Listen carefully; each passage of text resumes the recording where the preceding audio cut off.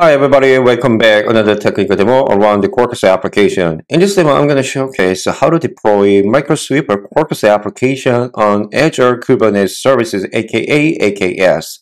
Let's get started. Okay, uh, this is uh, how do we uh, deploy this application. About that, we're going to actually uh, three step to go through uh, deploy and build the application, a MicroSweeper application from my local environment edge developer environment, and I'm going to deploy this application to AKS edge production.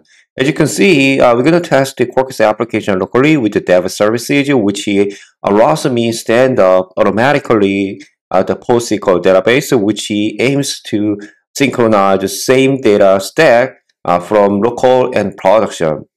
Once I verify my application functionality, my local environment, uh, we're going to deploy the application with the multiple Quarkus extension, for example, Quarkus uh, Kubernetes extension, and then uh, Quarkus Kubernetes config extension, which allows me to deploy uh, this application, including containerized image and push that image into uh, the external container registry, for example, the Azure Container Registry or Quay.io, Docker whatever you need.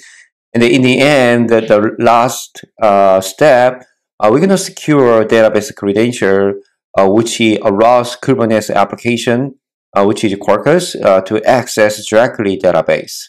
So normally you can save your database credential, which is uh, username password, into your the local file system or like a specific metadata. However, this is not a good example or practice with the Kubernetes uh, environment.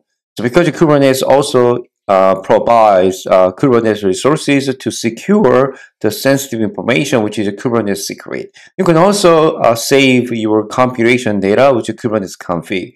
The benefit of Kubernetes resources it allows uh, automatically attach or detach that resources whenever you scale out uh, the application and the scale in. So this is to make your microservice application as a Kubernetes enabled microservice application. Okay, this is my application. I already uh, clone uh, my existing Git repository, which have uh, this single microservice application. And then the micro sweeper actually builds on Minesweeper with a backend Windows 1995, like a uh, Windows gaming. So if you have some experience with Windows Windows operating system user, and then like a decades ago, you are so familiar with this game programming. And then the one of the interesting part, this application actually, we edited uh, Quarkus uh, Java application as a backend. So whenever you play the, the mind game, and it automatically store the, your username and your score in the backend uh, database. So uh, Quarkus actually a backend application. Here's a REST API like API scoreboard, and then uh, retrieve all data, and then uh, store new data, and then maybe delete all data, just like a CRUD capability on your application, which is cool. And here's the service for CDI bean, and then uh, you can uh, store data specifically uh, in the case in production environment, you need to uh, trace the data, which is we use a micrometer. and know, here's the Java entity data using Panache entity, uh, Quarkus provide, and then this is super super simple to story application. And then uh, just to look at that application properties, uh, we don't have any uh, keys and value at this moment uh, for the local environment. This uh, super simple for developer to stand up uh, dev services in the end. The POM XML, you can see the Quarkus version uh, 213 you can also find out uh, Quarkus extension already pulled on your local file system. For example, the JDBC PostgreSQL, which allows me to access to my database, uh, PostgreSQL. Hibernate ORM Panache is uh, provide the fundamental operation. For example, you don't need to specify or implement getter setter and then like retrieve data and then find by ID. The fundamental operation is all already uh, defined and implemented by uh, Hibernate ORM Panache, which is really helpful for developer reduce the developing the fundamental operation in the end based on active record pattern.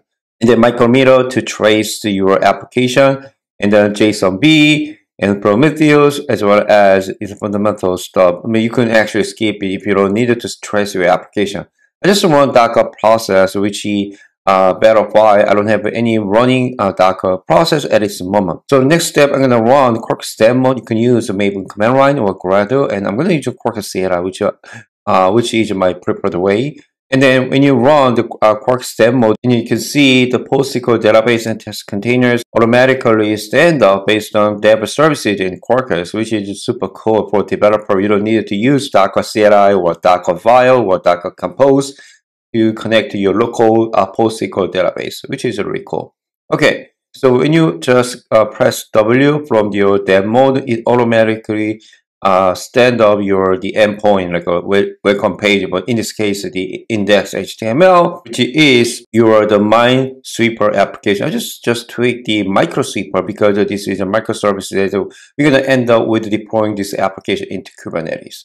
Let's try to play a few times the gaming, and then I I'm not gonna create the Minesweeper game by the way okay, I just failed and score 17. And then the random username just generated and then like a four procedure and a three uh, scores I got, I got that. And I can also uh, retrieve a RESTful API to get the score data here. You can see uh, three data like a cedar and a fork and a blossom, just like uh, I saw in the uh, graphical UI, which is really cool.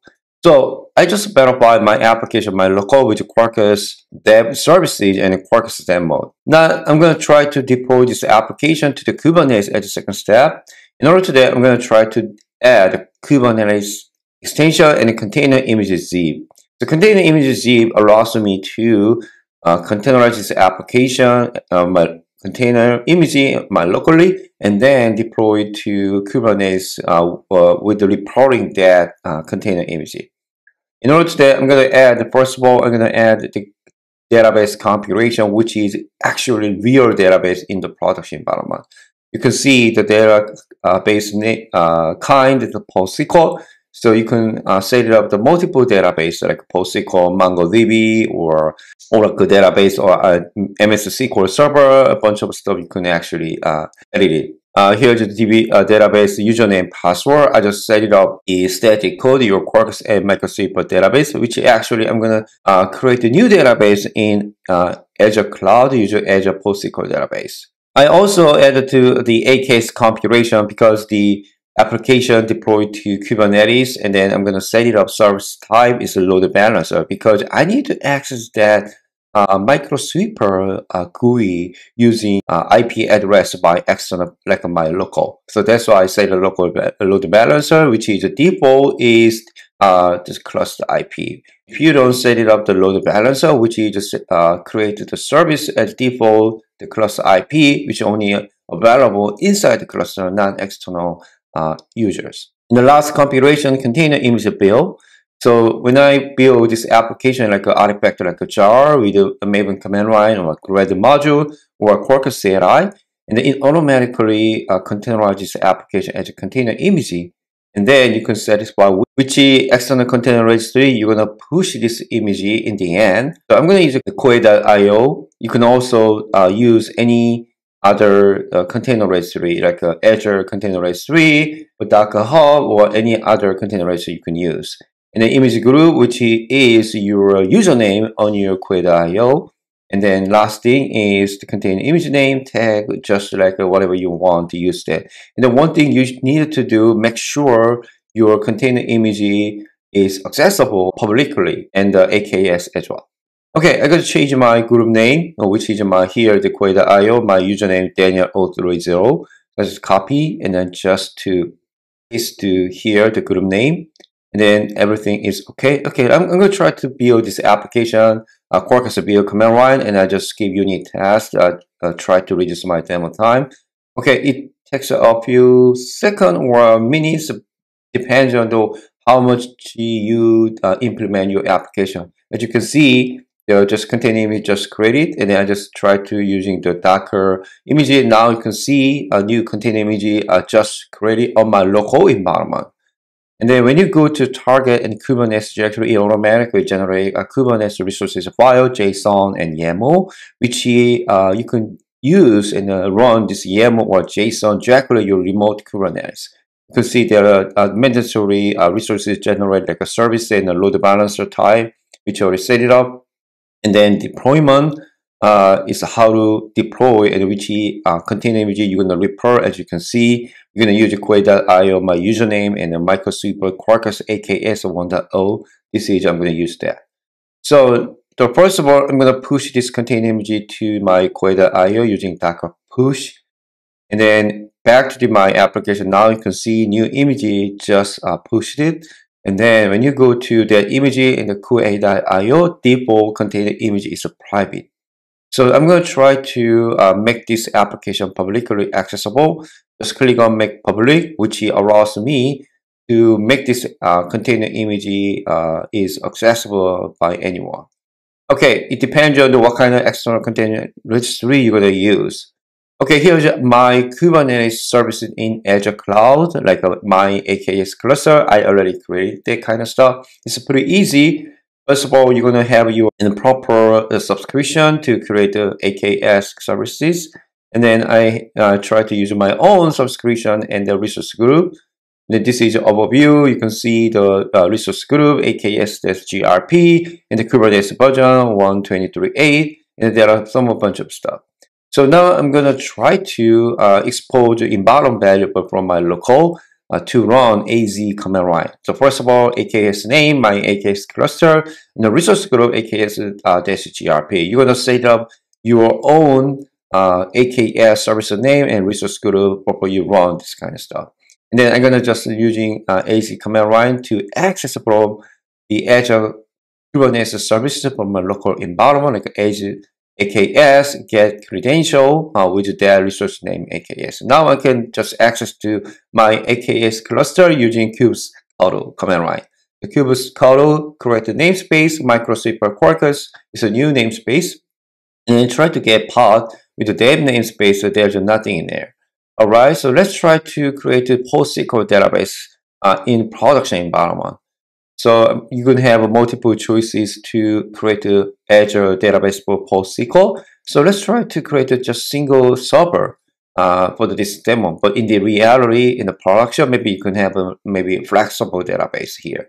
So using the same group, the server name, uh, microsweeper-database, and the admin username Quarkus and my password just I set it on my local environment, like a Quarkus application property. And then it just deploy a couple of minutes. I'm going to make it a little bit fast to showcase the end of the end. And then go to return and you can see the uh, server name and the username and then the password. And then you can make sure accessible to Azure services here. So I'm going to try to click on yes and then save the configuration. It, it takes a moment to update the configuration. Now I'm going to try to go back my local environment and try to create a new uh, uh, database, like a score, we're going to use uh, that database schema uh, from my Quarkus application and a microsweeper, just like my local environment. Using the AZ command line, and you can actually uh, run this command line from your Cloud Shell in Azure Cloud as well. So Azure uh, database created the same resource name, and the, the database um, name is a microsweep database. I just created. You can actually open uh, Cloud Shell in the end. So I'm going to try to deploy my application under the target directory, the Kubernetes YAML file, into the new namespace microsweeper-quarkus. It takes a few seconds, and then you can see uh, all uh, resources in the namespace. Here is my service with external IP based on load balancer, and then the uh, actual pod is running, and then the deployment is just completed. So let's try to uh, find out, take a look at that logs and pod in the if the Quarkus is actually uh, running uh, properly. You can see, uh, yeah, I just uh, just missed the namespace here. If you set up a default context name on your, your Kubernetes kernel, and then you don't need to append the uh, namespace every single time. So so you can see the Quarkus logs is Quarkus running uh, properly. Let's try to open new web browser to access to external IP address. But for that, uh, I just open Cloud Shell in the Azure uh, uh Web Console to access the database directly uh, later on day. So when you go access the PostgreSQL with the uh, Azure PostgreSQL database with the name password, and then you can see the score, there's nothing in there. And then when you run Quarkus application, it automatically creates a new data schema as database as well as uh, data automatically, just like my local environment using Quarkus Dev Services. Let's try to play us a couple of times, like a just first username, like a chatter, and the second, uh, the username uh, Twisty with the score three, and the uh, Lepis, the last username, and then I just got score nine. And then when you rerun the uh, select uh, SQL command line in the Cloud Shell, you can do the same score data on your Cloud Shell when you directly access database. So now I just verify my application totally working, just like my local, but is uh, AKS and Azure PostgreSQL database. Now, what I'm going to do, the next step and the last step, I'm going to secure my DB credential to access database from my Quarkus application. In order to that, I'm going to try to add one more Kubernetes uh, related extension of my Quarkus, which is Kubernetes-config which allows me to access directly Kubernetes configure and secret. And now I'm going to try the new secret data using kubectl, uh, like a generate data DB credentials, and then the username, and just like we are using the current database username and password, the same thing. Just using the kubectl and the our namespace, like a microsweeper-quarkus. And then let's go back to my application. And then first of all, I'm going to try to update the database generation because we already create a bunch of data, like a three records. I'm not going to delete it and drop it. And then I just keep using that. So that's why I changed the strategy update. And then I change the image like a 1.0, a 1.1. Uh, this is a new image. And then I'm going to change it, uh, uh, username, password the value of just like uh, our uh, the new Kubernetes secret uh, keys.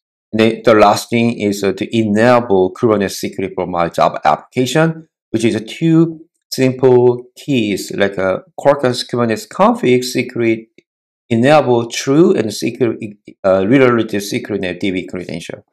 Just a few lines is allows to use Quarkus Kubernetes from my local to remote Kubernetes resources, which is really super cool and easy. Let's try to rebuild, compile my application using Quarkus CLI. Uh, and then in this case, we it automatically generate a new container image tag 1.1, just like we set it up the uh, application properly. And then just new generated a Kubernetes YAML file. You can see the 1.1 new image. Just make sure you, we're going to use the 1.1 image. And then let's try to uh, create to, there are several ways to update existing running Kubernetes, uh, the pod. For example, you can access, uh, specify like a one YAML file to want to replace a specific element your YAML file. For example, here is the patch from YAML file the empty. I'm going to just set it up, uh, the new image tag here, and then I'm going to use the Quarkus, uh, the Kubernetes kernel which allows me to just redeploy and patch the existing application. Okay, so first of all, I'm going to uh, push a new container uh, image like a 1.0 uh, to uh, my Quay.io container registry. And then as you can see, I'm going to reload. And then now you can see 1.1. Uh, 1.1 is a new container image. It's uh, pushed into my Quay.io. So in the next step, I'm going to use uh, kubectl patch uh, deployment with the new uh, YAML file, which is just replace the new container image tag. Pretty simple. I just new patch and then take a look at that uh, pod status, and then a new pod is running up. And then you can check it up the logs, uh, the Quarkus uh, running properly. You can see there's no error, and then the application is running as a production mode. Okay, let's go back to uh, microsweeper UI and the refresh and then you can see your uh, readable the data still existing not gonna delete it which is really cool. And then but uh, your microsweeper the uh, gaming pad is just reset. Let's try to give it a one more time. And then I just say the play up pretty much better. Uh, I gotta score three with the username yellow arm. And then when you go back to uh, the Azure Cloud Shell and then try to uh, retrieve data directly PostgreSQL. Now you can see new data yellow arm is just edited. In the meantime, the my Quarkus application actually access the database with the DB credential with uh, from Kubernetes secret rather than my local file system uh, inside uh, my application. So this is your make your application microservices application as Kubernetes native application in the end. Thanks for watching. Hope you enjoyed this video and have a good rest of the day.